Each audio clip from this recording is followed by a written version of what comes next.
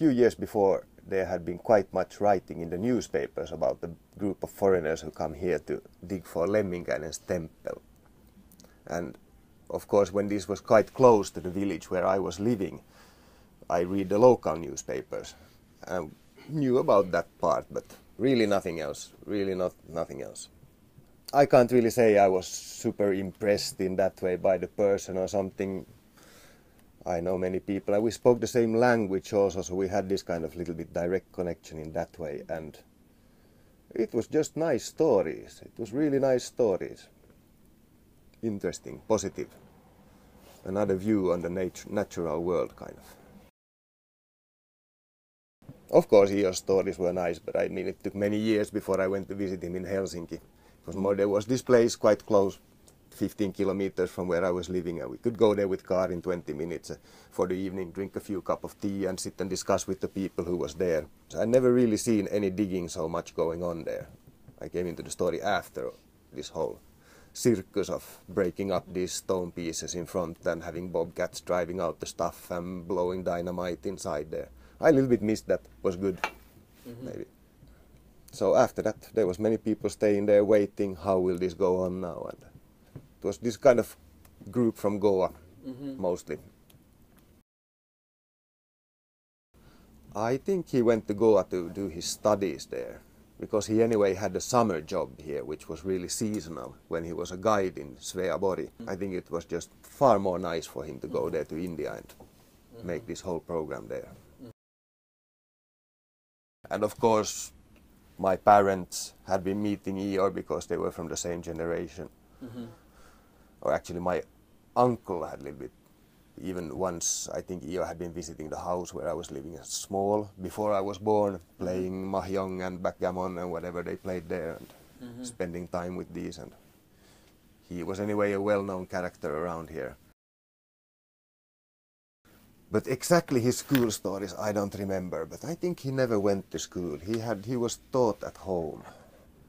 I'm not a detail person in that way.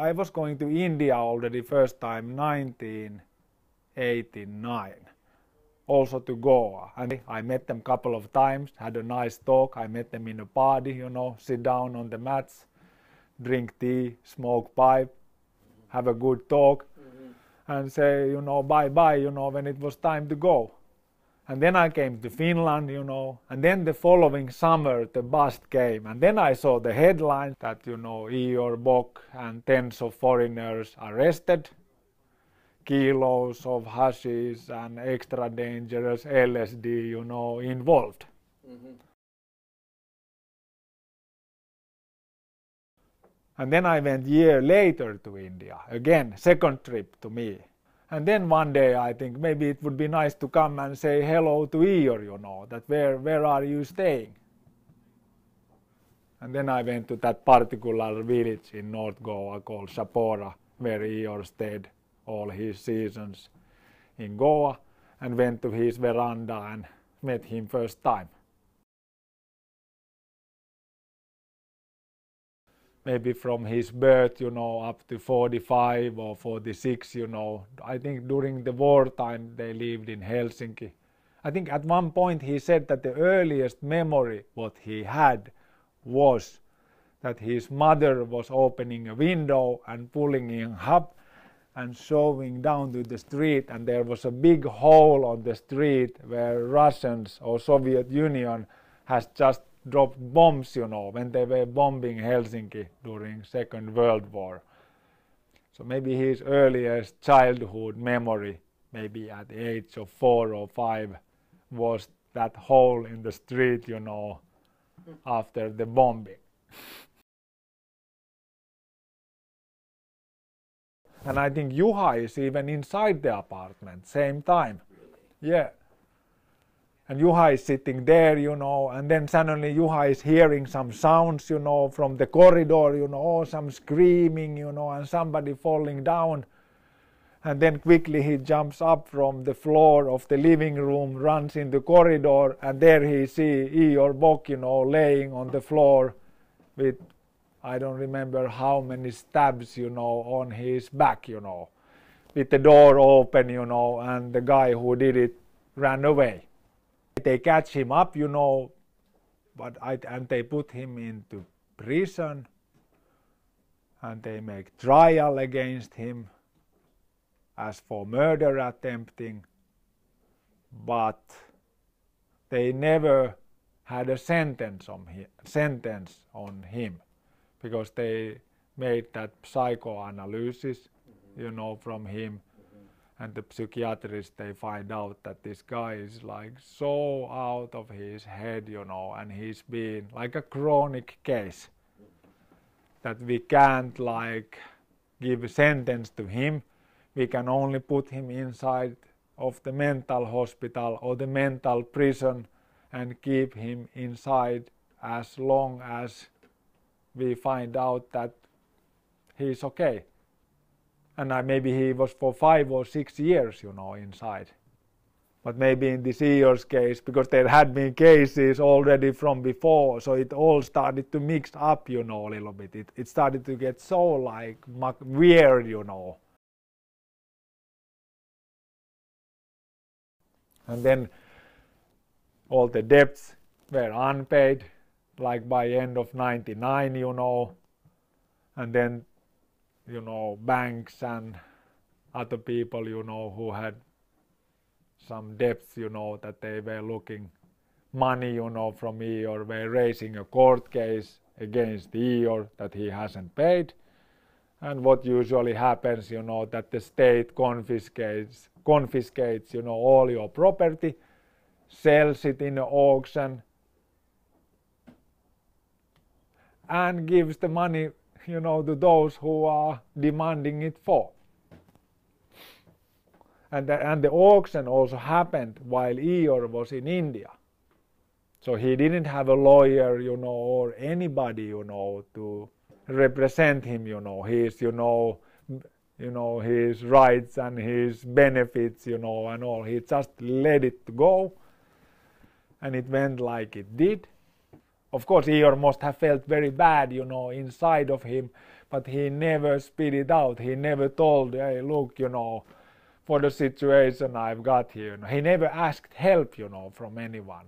So there is that like a feeling of like being a martyr, you know, that you sacrifice, you know.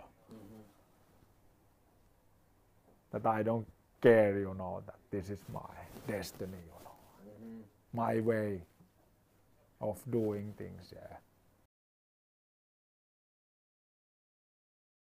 So at one point I thought that it's very good thing that these two new assistants from India, because these last two assistants he had from India, they came to Finland to work because of a newspaper announcement that there is a paralyzed person in Finland, look for two personal assistants, that he will salaries provided, you know, and food and place to sleep, you know.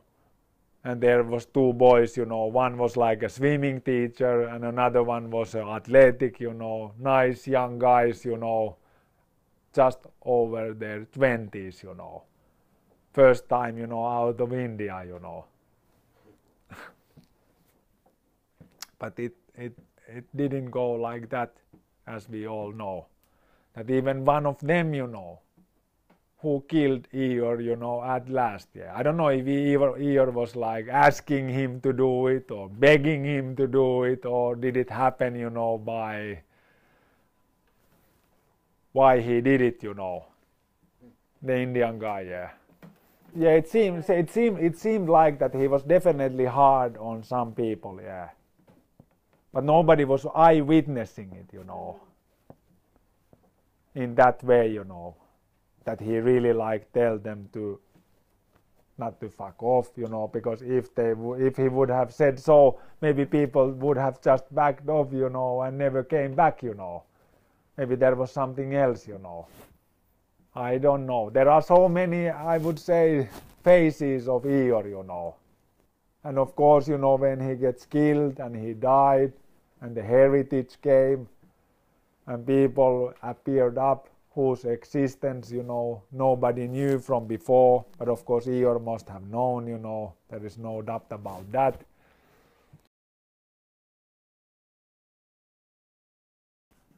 And the same kind of fanatism has followed, you know, even over Ior's death, you know, that some of the people don't want to even see the picture of Ior's sister or mother next to Ior's face yeah, That they just, how you say, do you say, deny, you know, you just deny from that.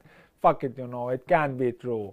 You know, don't fit to my picture, you know, it's not part of my story, don't exist. And you, so I would call it like a fanatism, you know of today. Yeah. So maybe the picture is not so idyllic and ideal as the mythological pictures are shown to us, you know. Maybe your part, you know, was different, you know, as it seems, you know. Yeah, the questions they do remain, yeah. I don't want to like start to even dig. I've seen the pictures. I understand, you know, it can be so, maybe it is, but I don't know. I don't care, you know, because I don't believe, you know, in any ideals, you know, or idyllic, shiny pictures, you know, of yeah that he was the first son you know and so he don't he's not allowed you know to have a children you know because he's not allowed to have a family because he's supposed to be the king and the king represents the moon and never make the children, you know. All that, you know, this kind of principles, you know, that are to be followed, you know, in today's world, you know. Some people took it so personally, you know, that they just throw everything, you know, in for the story and regret later what they have done, you know, what I have said, you know, how my life would be if I wouldn't meet this person ever or never heard of the story, you know, would be a rich and healthy and. but for some people, it seems to be also like a lie. It, it, it's also a source of energy, you know, to some people, that it keeps them going, you know, they need that story, you know, to give them confidence of their being and existence. So they have something to say, you know, and But I think Ior would be very happy to find out that Tommy Granström and this Tuomisalo and all these ship boys are having a ship like this, you know. I think this would fulfill, you know, all his fantasies, yeah because he was a very big friend of these ships yeah. And many of his tours, you know, that he did around Sveaborg were actually made by a ship like this. I remember Ior as he was, you know, to me. Mm-hmm. I didn't count, you know, on his royal heritage, you know, mm-hmm. that he has to be so, you know, that if, if he's not, then everything else has to be wrong or lie, you know. Because I never, I never counted on it, you know. I never lived up to, up to it, yeah. But there is no one to blame, yeah. That I find. Not not the museum, not the office. Of course, we can say, oh, what the fucking idiots, why they don't do like you know I don't blame them, you know, that they are like that. Yeah, mm-hmm. it's not their fault, you know. It's not their like his fault that he went, you know, and killed Ior, and it's not the other Finn's fault, you know, that he tried to kill Ior. It's just the circumstances that were driving people into the situation that the only solution was to do what they did. Hmm. But stories that can be proved later on, they are more easily to be made than stories that we can check all the facts, you know, later. And for example, if we think these two pictures now next to each other, Ior on this and his mother on this side, and you can like see by eyebrows and nose and eyes and chin and cheeks that these two people they are very closely. I don't know if they are so close but you know if i would not know them i would say yeah they are related to each other as an amateur's point of view. Mm-hmm. bror holger svedlin yeah. I understand for those you know who never did anything with their body in their life, and after such an accident, you know, it's difficult to start to do something that you haven't done before. But I think Ior, he was a quite like in a very healthy state, you know, of his life because he he lived he lived very healthy life, yeah.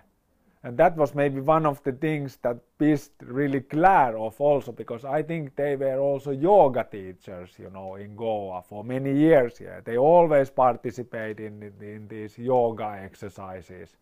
But when 84 came, you know, Ior already sat down and stopped all the exercising, only walking and dancing. So people, most of the people followed also these like strange principles, you know, that let's eat only white flour with white rice and put 12, you know, cubics of sugar into each tea. And when they had to even drag Ior to the dentist because of such a horrible pain he had in his mouth. So they also had to look at the mirror, you know, by themselves, you know, and find out that fuck, you know, all my teeth are so rotten, you know. And no, yeah, yeah, this kind of, you know, like certain, you know, appreciation of your own body, you know, respect your body, you know, as because you have given a nice body, so let's try to look after it, you know. So far, we don't know yet. I don't have nothing about negative things about the year. Yeah. I, so I came here and I came home. I just went to sleep first because I was so tired. We just drink a tea every morning, nine o'clock or nine thirty. Then after one hour breakfast for him like porridge. Porridge is favorite like milk porridge and just drinking. Mm. And then his lunch. Lunchtime he eats. He likes to make some Indian food Mm-hmm. Before I didn't know about any food preparing. Uh-huh. So yani helped me, mm-hmm. and when the second guy came, he helped me, Nilesh. Mm-hmm. So then he taught me to cooking and everything. Now I know the cooking things. Mm-hmm. Mm-hmm. yeah, the life goes on like this mm. every day. Before it was so many Yanni, like when he was alone, so there were like so many. But when we got like two assistants for him, mm-hmm. then they were coming like after every second day, mm. something like this. Mm-hmm. And it was like after this incident, it was quite difficult for me to get a job in the same place, like mm-hmm. a same job place, mm-hmm. like something, sure, like assistant, like personal assistant. So. Yeah. Because after happening this, like I went for one interview and they said oh now you have these kinds of problem i have been but i am not a suspect for this but still i have been to this so they will not hire me for these jobs mm-hmm. but still like i tried because i'm not involved in this. So why should i worry about this? Right. yeah. so i send the email and everything but now i'm at work. Good. Yeah that's good. Actually i was planning to go like because when we were living with Mumbule, we had like apartment because we were sharing in the same apartment. But after happening this they take me to prison. Oh, wow. and when like after 17 days when they left me from there i had no apartment no job no money nothing here but us friend was here mm-hmm. like yani leo uncle everything i had to live with yani sometime with leo uncle yeah they got like almost one month mm-hmm. or half a month i was there Then I was also thinking like I was almost planned to go to back to India. So what what to do now here? I don't have Finnish language because whenever I call to any company for the job, they said, "Do you speak Finnish?" I said, "Little bit."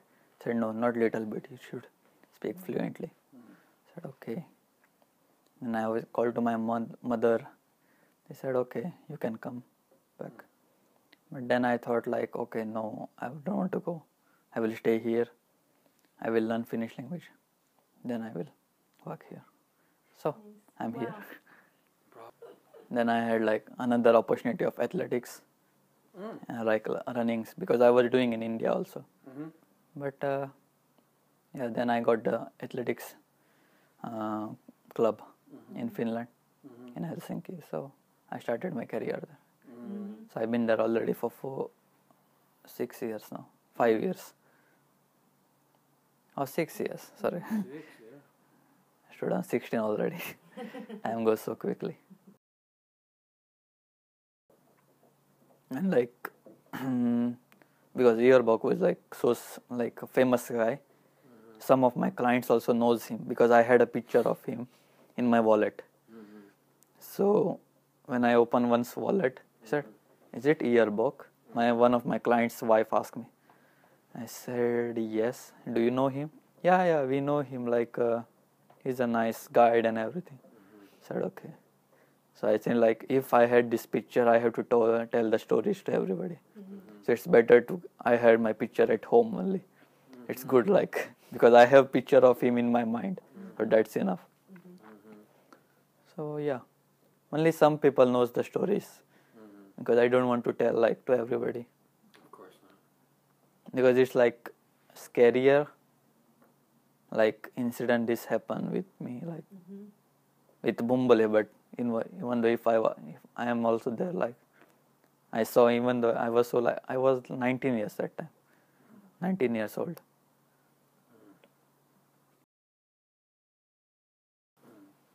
But I, this guy who came like after 10 years, I don't know like I'm always thinking about him like he is the one. Mm-hmm. And the second thing was like the Friday night was like full moon mm-hmm. And full moon is not good for the mental mentally weak people as like a lay uncle told me about this then i told him about like uh, okay this uh, the second person this person who came there this weird person like i don't i don't like him so much Mm-hmm. You could feel it. And that was the night Mm. before. the saturday morning my ne- our neighbor like who was living on the sixth floor she was uh, she's like my finnish mother now No. she is like my Finnish mother, and I had a we had a laundry also. Mm-hmm. After laundry, I went to shopping, so I did like all of the work in the morning, but the laundry like I had to ca- take my laundry also back from there. So she took the laundry, she kept with us, and then she then she gave me like when the when they released me from the prison. We went first to Munkiniemi and the police called her. Or she called me or something like this. Hmm. Or i call yeah yeah i called her and then she gave me the laundry and she was just thinking about us only. Hmm. Because she read the story that one of the person is releasing and she knows that it was only me Yeah. who will going to release from there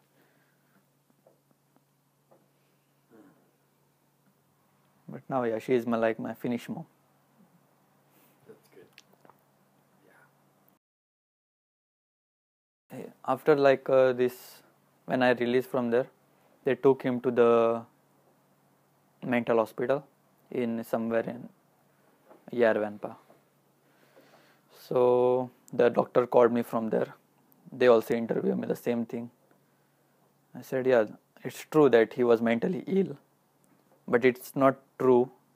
It was not. He was not mentally ill when he tell to police that I am the person who killed a ear Mm-hmm.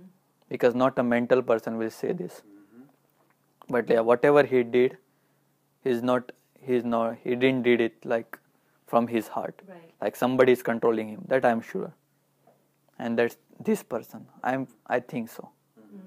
As per I guess.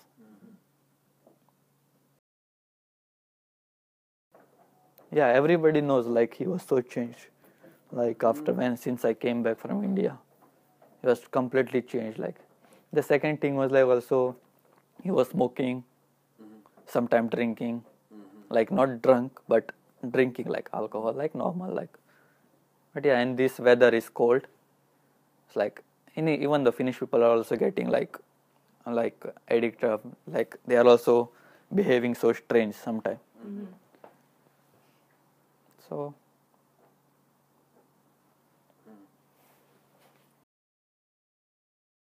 when I when I was there, I never heard about him like he wants to die or something like this. No, he was just happy. Drink his morning tea, listen radio and everything. Sunday, silly dilly, food. Yeah. Humble pushing me. Yeah. Come on, you Yeah. can do it. Okay, good. Actually, he was willing that I can learn the Swedish Mhm. because he was like a Swedish Finnish and he speaks Swedish. So he was thinking that I can also learn Swedish language. But uh, Swedish is quite similar to English also. So I can learn that easily. But Finnish is the in Finland you must speak Finnish. Because if, if, if you are speaking Swedish here by living in Finland, it's not useful mm-hmm. because not so many Finnish people also don't know the Swedish language. Mm-hmm. It's better to speak Finnish. Mm-hmm. I know the words like some words and numbers. I was making push-ups, exercise at home when I was alone with Bumbale before the Nilesh came. I was like making push-ups, like he was counting in like Finnish, English, and in Swedish, three different languages. So there, from that I got some words and ideas like numericals.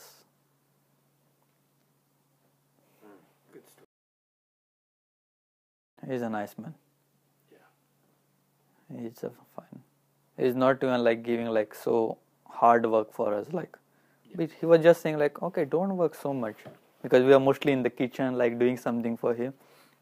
Come on, just come back out and just enjoy like talking. To, he liked to speak so much, mm-hmm. so he just felt like, okay, talk, talk, talk. Mm. And when he's tired, then he's going to down and he's thinking, Kela, Kela. He's doing Kela. It takes him like two, three hours for Kela. yeah.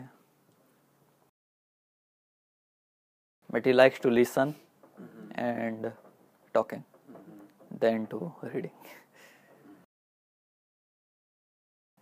Whenever was somebody was coming for interviewing him, Mhm. he was like the the day before he was always like maybe five six hours with in the kela mode. Mm-hmm. He was just thinking because he have to plan for the like mm-hmm. what's he have to talk because he have to talk so much mm-hmm. in the interview.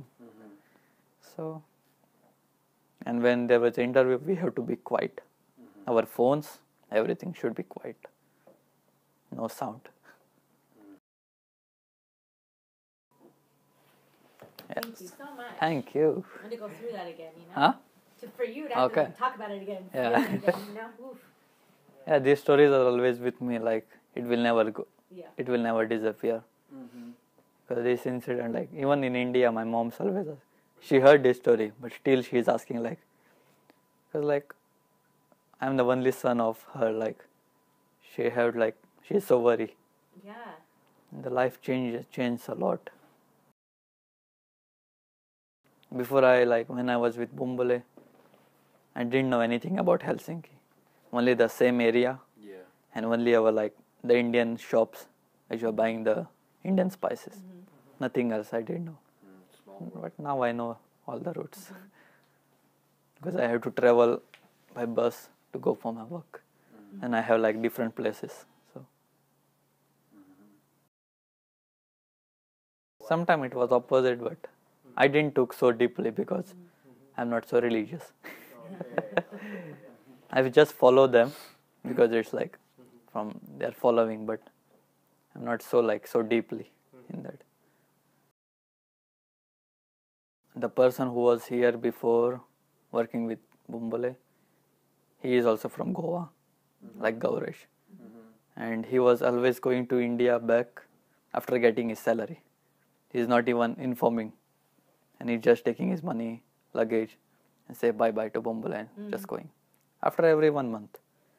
He just went like two times before I came. Then he came for third time. And he came again back to India.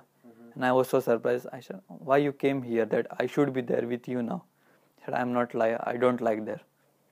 Because he was so happy that oh there is a thousand euros for him. Hmm. That's enough for him in India. It's quite much. Mm-hmm. Sixty thousand rupees. But for how long? Yeah. now he was also still asking for me like is there a still job when i when there was a bombale i said no now you did almost for three nights three times mm-hmm. and bombale is so angry on you like at least there is something like you should inform and everything. Sure. and there should be like emergency that you have to go.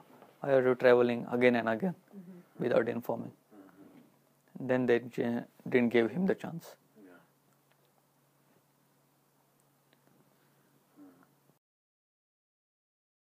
There was this guy called Erkki Pirtola, this uh, artist,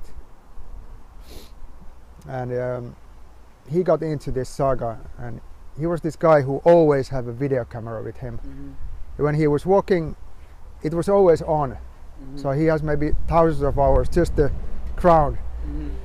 because he didn't even film. It was just on all the time. And when he came here and when he saw here, he was always filming. And so he made this little booklet called uh, Ior Bokin Suuri Saga. Ior Bock's, uh, like a big, big saga. That was the first thing I, I saw. I read it and I was a little bit before already interested about the shamanism and uh, you know old cultures and mythology and so this really hit because it was about our culture. But first time we came here with Juha and Ior was not there. But there was all the other guys sitting in Akampesa in the house and in the dark room with the candles and telling the story. Mm-hmm. Yeah, I gave him a, actually a phone call. I was looking from a from a telephone calen- telephone booklet. Mm-hmm. So the name of Ior Bock, it was mm-hmm. there. I think it was it was the autumn 1991 or 1992. I was calling him, and he was directing us. Okay, if you want to know more more about this uh, Lemminkäinen temple and uh, Bock family saga, go there. Go to Sipoo and there's some guys there at Akampesa. So we took. Uh, Petri has his Suzuki blue car, I think it was, and we drive there to this place and sat for the first time. We we had this living presentation of, of the Bock saga and all this paradise time and Outland East time and and uh, what about this Lemminkäinen temple. And next year, next year we met Ior when he when he came back from Goa.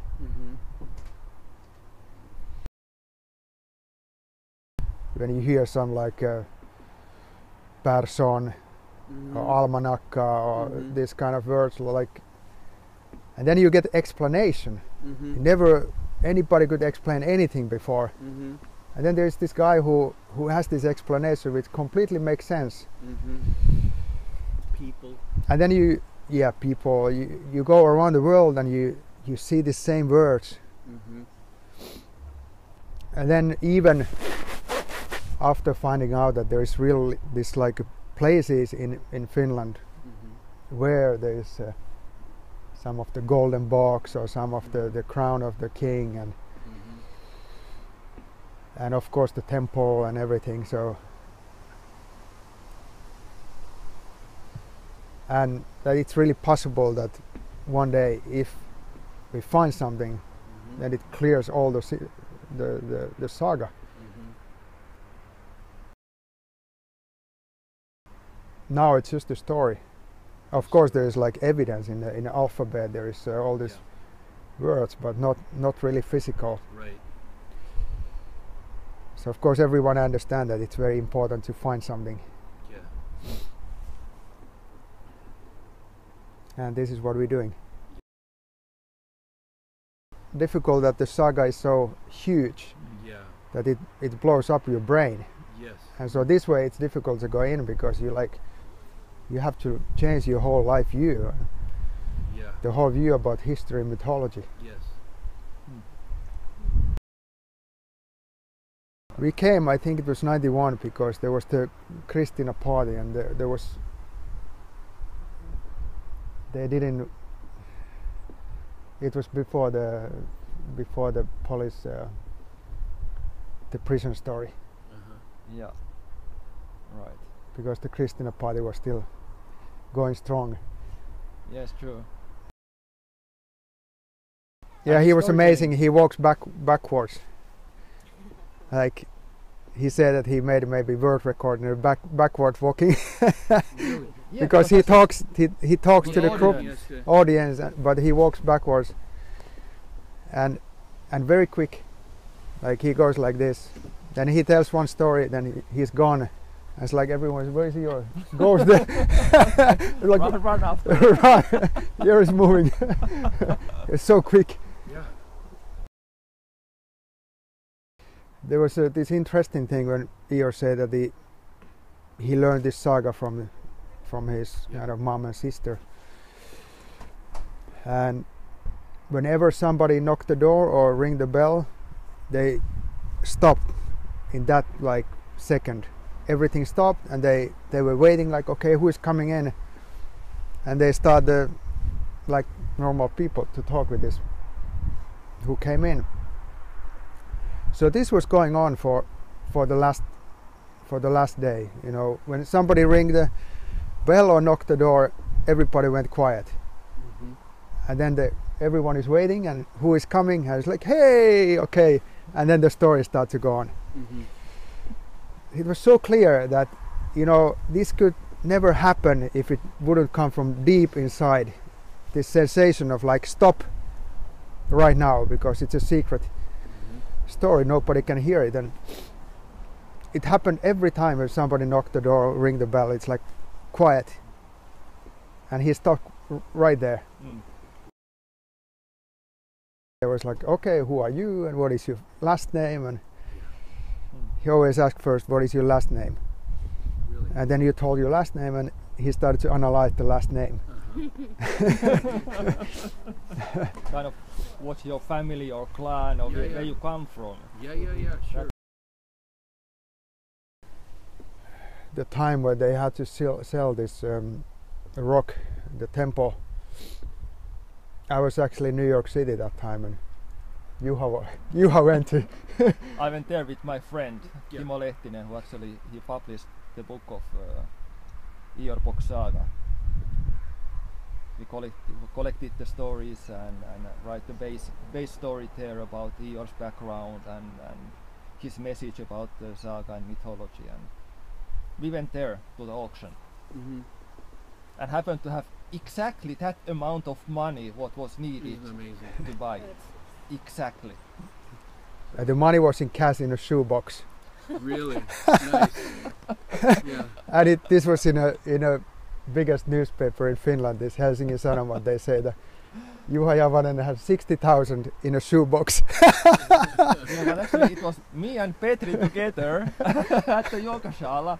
We, we checked how much in the yoga school office we had the money there. Yeah. Okay, okay, we can take this much out Yeah. and agreed. Okay, we try to buy with this Yeah. the mountain. and it was exactly the amount Wow. In the shoebox Yeah. Best. That was York. this is amazing and they even say that the on one side of the shoebox side yoga payments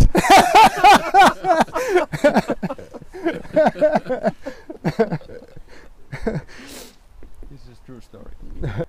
the rock is there and, and that's why it's the only place where we can really Yeah. do things. do things because it's uh, the one is the church is all in one place and one is the Museovirasto. museo museo office. uh, His uh, things should have been passed to to to Lisa. Yeah, if they get they didn't get stolen, uh, that because the this Akampersa got stolen many times. When he went to Yeah. India, maybe four or five times, people went in and stole, you know, paintings, all this old things. Yeah, It's, it's What very we saw in in, summer cottages to, to, to get Robert. What we saw in Mm. '91, what we saw in '91, they few days, few years later, there was Yeah, everything. half was of the stuff. furniture, Yeah. photos, Yeah. Paintings, Yeah. Mm, all gone. All gone. And even I, I heard Ior's little storehouse in the city. It was also Robert. wow. He had some family family stuff there Mhm. stored Mm-hmm. in this block of flats. There. Also things gone from there. But yeah, somebody still has those stuff. Uh, Yeah, yeah, But It's spread all around. yeah. One little detail came to my mind, not many people know about, but I think somehow he he felt his memory and mind, even if it was amazing, was also somehow fragile.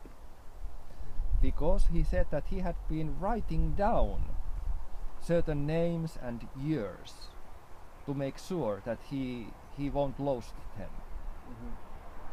For example, about some some of his family line from 1250 on, Mm-hmm. the names, some Mhm. names and uh, and uh, years. He said he has been writing down somewhere, but we never actually found out this family line. Maybe he meant from 1250. There's some writing uh, he's been writing ab- about the, the this this Viapori, the when he was the guide. Mm-hmm. He's been writing those names and making uh, made some drawings. Those we have. And there is also this uh, Dagmar and this uh, Russian Tsar in in Finland. Those names we have also written down. In fact, you know, this is this is the thing. You, you don't maybe believe the whole saga, but there's the fact that this family is there, existed, and what they did. Yeah, So that you can find from the books. yeah, The funny thing is that, you know, because usually when you make research about like this area, yeah, you cannot link to other area because you think like there's a book about this Sipoo where we are now. yeah. Then there's a book about Helsinki, and they bo- talk about Bock here and Bock here, but they don't- they don't have any connection between these two. Mm. Like we have this place called Pukinmäki. There's like a bog hill, Hmm? and then then we have this bog house in the middle of the Helsinki, and they they cannot make connection between Pukinmäki and a bog house. Yeah. It's like it's a it's a crazy thing. There's so many bogs and these places which is called bog. Yeah. or Pukki. But sometimes Or it's written like B O X box. It's a No, it's not bok. Yeah. B O C K. Right. yeah. It can be B O X. It can be B O C K, and then it can be in Finnish Pukki. But they all has the same origin. Mm. But the people who make this research, they, there's no connection between this, like all different Mm. box and Pukkila and this.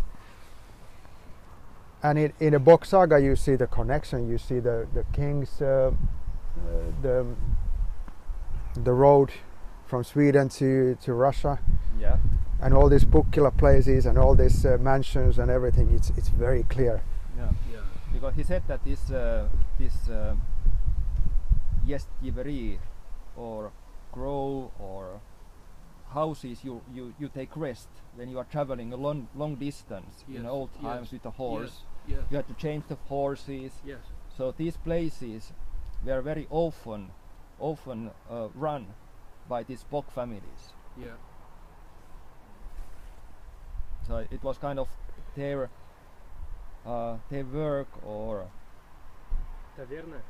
yeah exactly tavernas?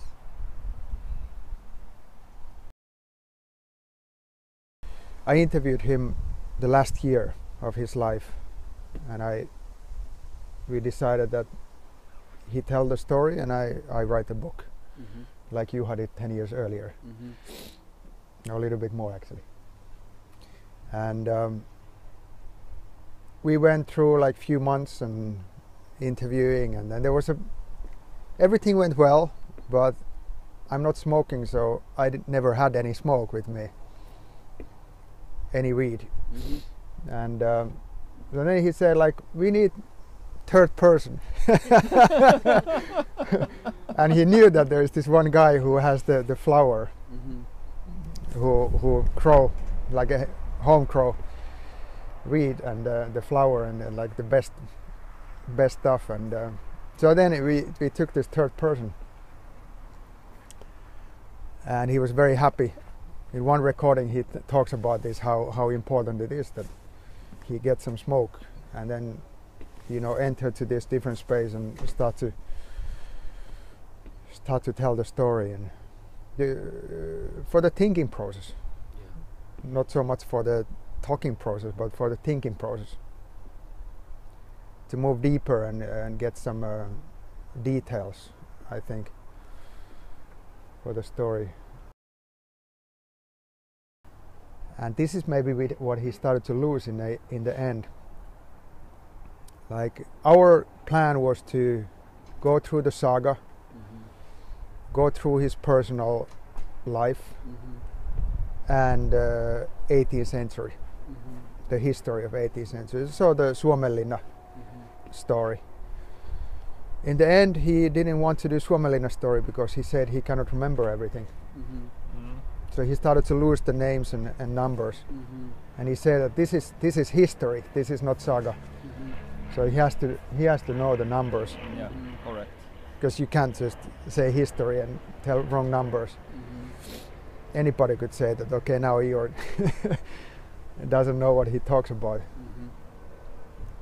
but yeah we well of course what happened we, we couldn't finish all the interviews but but I've been still ri- try to write the book. For five six years now There's uh, two very interesting recordings from 1984, the same year that Ior came out from his box to say that, ah, I have this old story from my family. And in one recording, he is telling about this, his his memory system, how he is using the mind, Mhm. so how to store things there. Like Petri said, that small boxes he has there in his mind. Yeah, he said that um, when there was coming people to to listen his uh, his stories at Suomenlinna, usually there he asked that if if people have old letters Mhm. related to, to Suomenlinna, to to make copies of them or to send them to Ior Mhm. so that his mother could rewrite those letters, Mhm. Copy. kind of copy, and then they were, were burning the copies they got. So a little bit interesting thing. Hmm. They made they made handwriting copies or then typewriting, Mhm. and the original letters, or actually the copies of the original letters, they would destroy Mhm. because sometimes there was some maybe sensitive information about people. Mhm. So they wanted to also to collect historical things, Mhm. not any scandals Mhm. or things like that that would create some maybe some from rumors about some families. So this kind of respect of the old families Mhm. was also important thing. Mhm. and also the saga was changing like i i've been interviewing quite many people and they said like that somebody brought out some kind of fact about some some historical thing and then he just changed the story like this okay it wasn't like this it was like that Mhm.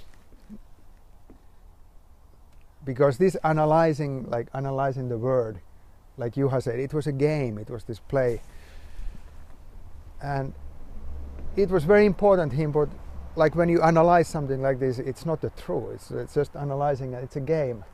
Mhm. But then somebody brought in some true fact about this this word or something. And it's like, okay, let's take this, and Mhm. he took it into the story. So there was many times the, the story was changing also. Mhm. Even some uh, alphabets like uh, D, dog, DD. In the Mm. beginning, in the beginning D was dog, day. Mhm. In the end D was D. It was like drinking, Mm. drinking uh, sap, Mhm. uh, leather. So even these kind of big things were changing. Even the uh, the the number of the al- alphabets, because before the alphabet start from E, Mhm. so it was E A B C D, and in the in the end there was no E A B C D. E was E was not in the beginning Mm. because there was this Ö Ö, and this Ö Ö was not original. This other Ö came later, Mm. and it added the number of the alphabets.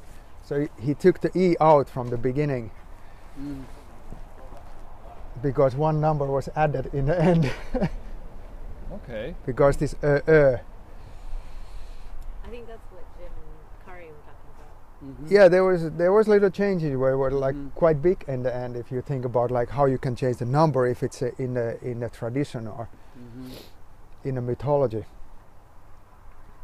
So these things like D, dog or DD, and this E and Ö Ö happened uh, when I think there was some more information came in Mhm. and from i- from outside. Mm. It didn't come from him; it came from outside. Mhm. But even in 1993-4, when we went, when he was teaching this sound system, Mhm. It was very clear that it was E, Asernaspori, and so on. Mhm. I understand. So, and always there was E, and then because otherwise, this Ramsa didn't go on. It needed at top Mhm. this E sound Mhm. to make it flow around and around and around again. It started from E and finished with E. E. Right. But in the end, looked like the E disappeared. That's strange. Yeah. I didn't know about this. Mm.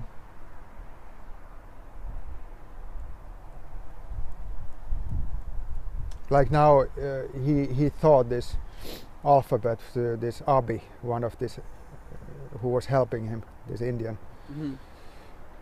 He doesn't start from E. He starts from A, A, A, Sar, Bori. Yes, but okay. It seems there's two de- two methods of this Mm. alphabet. Because he always started telling the alphabet from A. Yeah. A, A, Ser, B, Bori, Yeah. She, Shära, D, D, Yeah. Da, E, Ek, Efrö. But he ended with E sound. E was at the end again. Yeah. But always it started from A. At from that time when I uh, I was learning Mm. it, always it started from A. A, Aser. Mhm.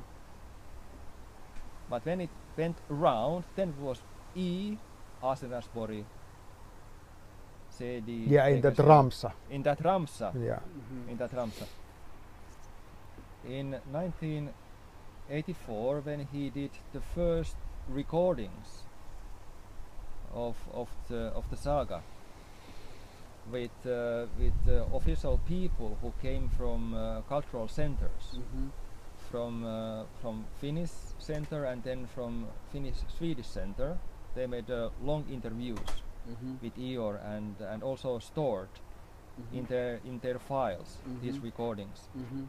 So there Ior, I think he was telling that in he learned very many ramsas in in root language, Mhm. Small sentences, Mhm. kind of mantras, Mm-hmm. but in, in root language. And he said, but I think I will never actually teach those ramsas to anybody. It was a little bit in, interesting information that time. Maybe he, he, he told some of them, maybe to Michel and Jim, Mm-hmm. but usually when he was telling the stories, he was more talking about the sounds and and uh, and the words related to those sounds, but not going through the let's say old ramsas. Mm-hmm.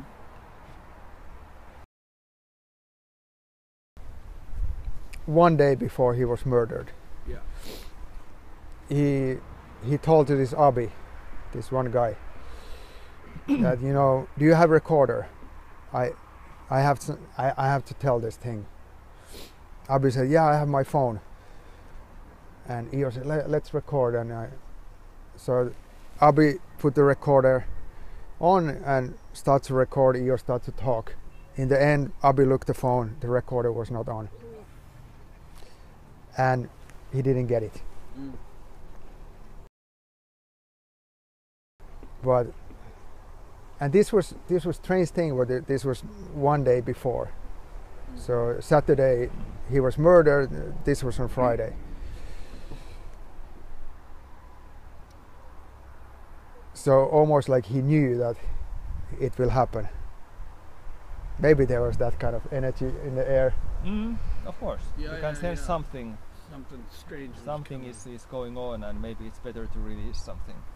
yeah it was interesting because he he kind of wanted to die because that was also part of the saga is that when you cannot walk you you jump from that rock from this Ette Stupa but at the same time he was when I saw him in the end he was very happy also because he kind of released the saga. He was he was free. He was at home. He had two Indian guys helping him. He was also quite happy that he he was still there and like by himself. Like many people said, it became quite negative in the end because he was sick and he he was alone. But what I saw, he was very happy. He was like almost like what I, what we call enlightenment. Mm-hmm. He was just like free. Mm-hmm. Which I could understand. his de- his destiny was uh, fulfilled somehow. He was just lying down and r- listening r- Swedish radio stations, a Finnish Swedish radio station, and he had some favorites. Uh, this some guys, and he was just listening. and He was very happy.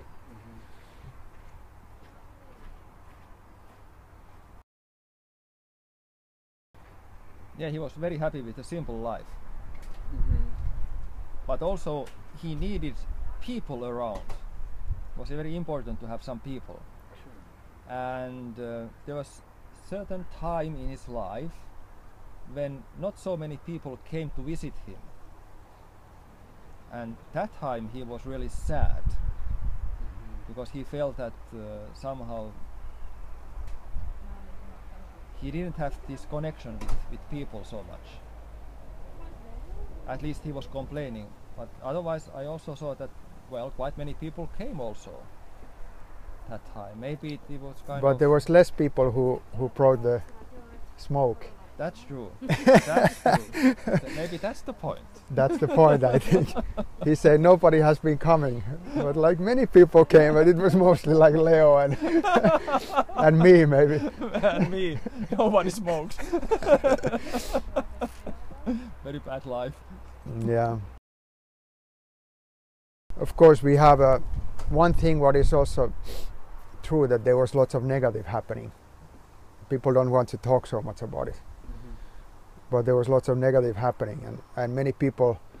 That's why it becomes like a black magic or like this kind of negative for many people, and, and especially through the to the social like the newspapers and different articles about him people were not really like trying to find out who is Ior Bock and where he came from. They just made up the stories about the weed smoking and what sperm sperm drinking and like they all turn it very negative. But the truth is that there was lots of negative also happened, like people commit suicides and and people freaking out. Uh, only smoking but not eating in like days just having some like uh, like psychosis or something like this uh, so Yeah, this this also happens so the whole story like there is this amazing story but there is so much was going on at the same time and and and then the newspapers writing all this negative so it was a little bit like dangerous like we say it was not so easy to get in because there was also this side. That there was negative things happening. Not many people want to talk about it. Mm-hmm. but you know people who want to tell the story they maybe doesn't want to tell. Yeah. the neg- negative side also negative side of Ior because there was usually when you when you have so much light there is also so much darkness. Sometimes the darkness came out and there's some people who who want to talk about this darkness but they are not very popular in there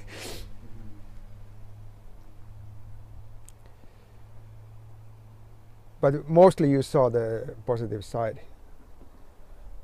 but sometimes it came out it's like a it's a weird energy you know um, I understand it.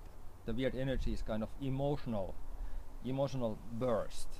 Sure. For example, I once met this kind of emotional, energetic burst with Ior. No violence, but it was the kind of he could have mm-hmm. this kind of quite a negative moment. Sure. Usually he was kind of this saga is completely positive and everything is good. We are not talking about gods. We are talking about good people doing good things for for Mhm. people. It's not about the wars or any heroes, war heroes. Even if there's some weapons mentioned, they are more like symbols for Mhm. kind of certain certain level of respect or this kind of thing. yeah mostly follow symbols the, the weapons Mhm. Mm, And But bu- also bullets female. and- yeah so it, it was too like you said it would be much easier to get it from the woman to the woman not from me or to the woman Mhm. it would be completely different story Mhm.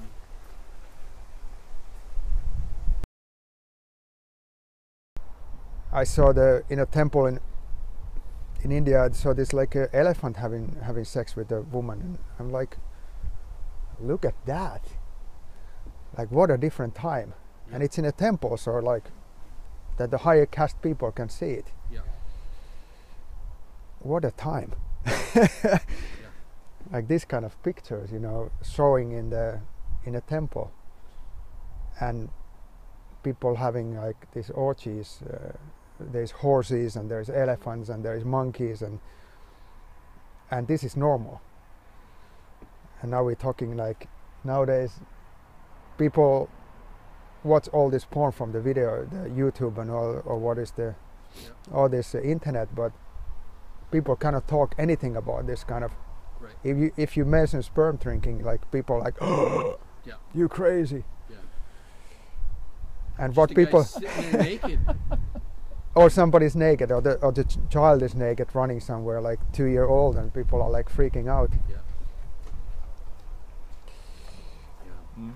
It's so strange It's so strange. but i- it must be some there is some kind of like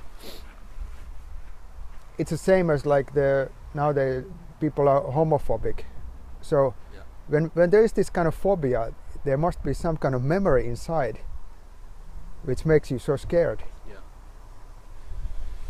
it must be how you could be so scared about like gay people or, or lesbian people it's like what's what's a big deal but there must be some kind of memory that it makes you so close to that Yeah.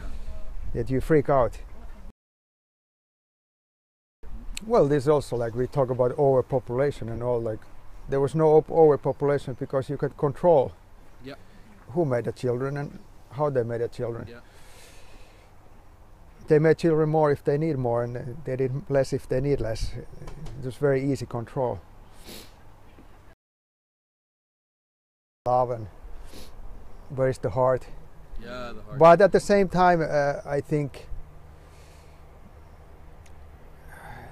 of course, we have emotions. You know, like this kind of, you know, the love is love. You know, the the heart is where it is. But the, but of course, you also have love emotion, and that's maybe I think sometimes people forget in this saga story that of course we have this attention, uh, attraction, love emotion like when you it's not just a mechanic thing that you Right. you fuck somebody from behind like a dog Right. there must be emotion Yeah. Didn't talk so much about this emotion and i think it's a little bit missing Yeah. and um, almost feels like Ior was missing some of that part in his I life think so too, man. I really wonder about the balance in that. And, you know, uh, this is- this. this is what not people talk so much about it. When I interviewed Ior and all this, I had a feeling that he was missing a lot this love emotion. Yeah. It's understandable because this story had to be kept secret so long time. Yeah. And also in Finland, people were not so comfortable to show their emotions. Even mm-hmm. today, you can see that Finnish people are very, very calm and, and you feel like little distant. Takes time you get into connection with them and make friends, and then you start to feel kind of warmth, of course, and to disconnectedness. But otherwise, this uh, Finnish culture is very. It's not so emotional, open. So if you have a secret in your family, you are you are going to keep secret. You have to keep your emotions secret, only showing inside the house within the family. But otherwise, you are very cool, cool person going around. So in this way, you can, we can understand that when the story came out, it was missing this emotional side.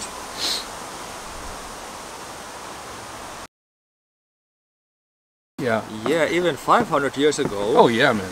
there was this uh, this campaign about, uh, against witchcraft Yeah. all over Europe, All over. but also in Finland. If you drink for ukko, you get killed. Yeah. Yeah, definitely.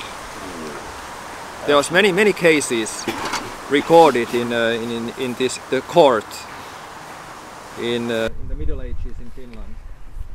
There was this uh, fight against paganism. Yeah.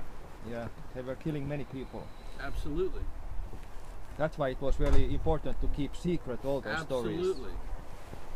Which Otherwise, your neighbor oh yeah. could sue sue you yeah. at the court. There's this uh, interesting story about the the priest. Um, this responsibility to, to teach the actually it was the father's and mother's responsibility to teach the how to masturbate and all these things Mhm. but later it bec- it was a priest uh, responsibility Mhm. so to teach, teach this uh, sexuality and uh, masturbation and you know it's still happening Mhm. but nowadays The wrong way. a little bit the wrong way it became like dirty and uh, Mhm. they started to use you know like really like abusing Yeah. but before it was uh, sexual education Mhm. Maybe it didn't always happen in a in a good ways who knows but uh, but it's like very very old tradition that uh, what happens in now in a, especially in the catholic uh, Mhm. christianity the, but uh, Ior always said that the, now the priest has a difficult times because what used to be the sexual education now it's child abusing and what they were teaching before was maybe different what they Yeah. What they think be doing now. Different. Yeah. I, I absolutely. yeah yeah it became this like uh, Well, it makes sense to me. I mean, but anyway not so far uh, still the same but the, if you show for the boy like how to masturbate nowadays it's a, it's a child abusing uh, even if you don't even touch the boy. And like uh, how you show it you show how t- how you how you do it by yourself Yeah. so, and then the boy is watching Yeah. Yeah. yeah. now if the priest goes to show how to yeah, how to yeah, masturbate and the boy is watching it's a different story Yeah. Yeah. yeah. but uh, that's uh, years ago. like now the priest has a difficult difficult work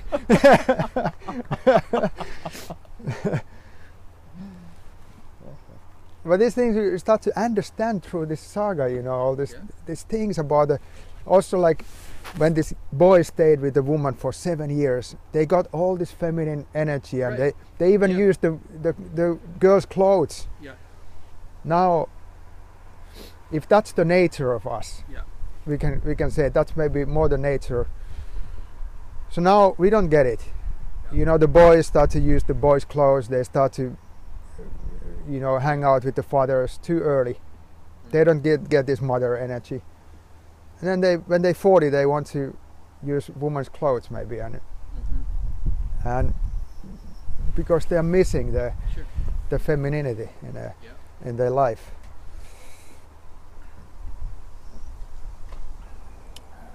so you, you always like so many times when you see like people have problems and then you you see the origin from the saga. Okay this is we are missing this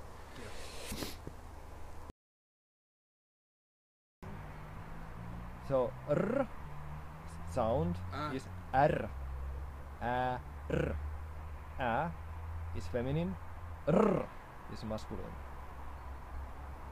When they say ra ruusar or grisar is one of this root ramsa. So then ra is referring to the king as uh, as uh, head of the court.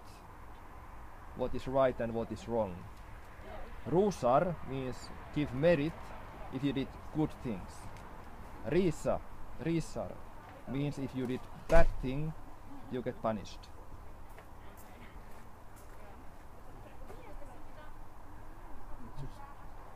and the king was Ars and, and the queen was Mai and they say Ars Mai Estate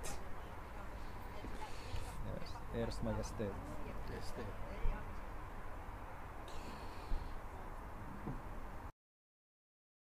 Yeah, I like. We were driving here. Petri mentioned this, the story of this place where is this uh, temple, Temple Mountain. Yeah. So when this Svetlin family, they bought Yeah. this uh, this place. First, they bought this uh, area which is very close, which is next to the shore, where the house was. Mhm. So they was they, they wanted a place for a summer house, summer cottage. Mhm. And year uh, or two after, they bought this area on top of it, where is this uh, the mountain. Mhm. So they are not the same property. They were different property, bought in different time. Mhm. From there, you can you can actually see that they had a special wish or purpose to buy also the top top of the mountain. so who who time. wants to buy a piece of rock in the middle of nowhere In the middle of nowhere. you understand you get this nice piece of land with uh, some beach Yeah. and you have the sea and everything but then you buy separate rock where you cannot build anything it is very interesting you know if you think about this story and what is the true and what is not true and all but these things like why somebody buys a piece of rock and now it's even separate there's two two different parts in that rock Mm. so this is one one piece of land and other piece of land and they bought the two Yeah. they didn't just buy one piece of rock they they bought the whole rock Yeah, yeah. There's some reason because it looks like that one part of it is where is this the burning place. Yeah. That's the bigger part. Then little smaller part is maybe the place where is this Ettestupa. Yeah. Say all they took, of course, belong to the same bigger thing, but as a property they were separate. That's why they they bought both of them. Yeah, yeah. Fascinating. And also happened that we we got both Yeah. because they were sold in auction separately. So all the three properties were sold separately, Uh-huh. and we could get the two of them, meaning the Temple Mountain.